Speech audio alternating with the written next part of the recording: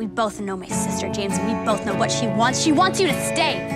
She wants you to fight for her, so why don't you do it? I'm packing my bags that I didn't unpack the last time. I'm saying see you again so many times, it's becoming my tagline. Cause you know the truth, I'd rather hold you than try to catch this flight. So many things I'd rather say, but for now it's goodbye. You say I'm always a.